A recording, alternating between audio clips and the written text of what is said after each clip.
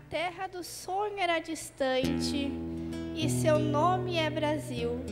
Da Alemanha vinham fugindo por causa de uma peleia que lá surgiu.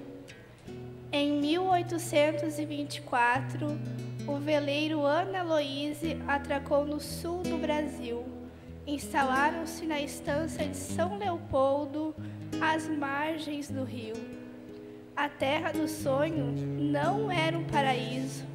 Inúmeras dificuldades enfrentaram. Reconstruir foi bucha. As esperanças quase acabaram por causa de um governo balaqueiro que não cumpriu com o combinado. Com a chegada dos imigrantes alemães, que muito contribuíram com a tradição, como seria a nossa cultura sem interferência do povo alemão? Sem a cuca e a linguiça, sem os pães e as cervejas, imagina como seria se não tivéssemos em nossas mesas essas riquezas? Blogestal, Volkstandsgrupp e Centro Entrecht na cidade de Campo Bom, mantendo viva a tradição, valorizando o legado com o folclore alemão.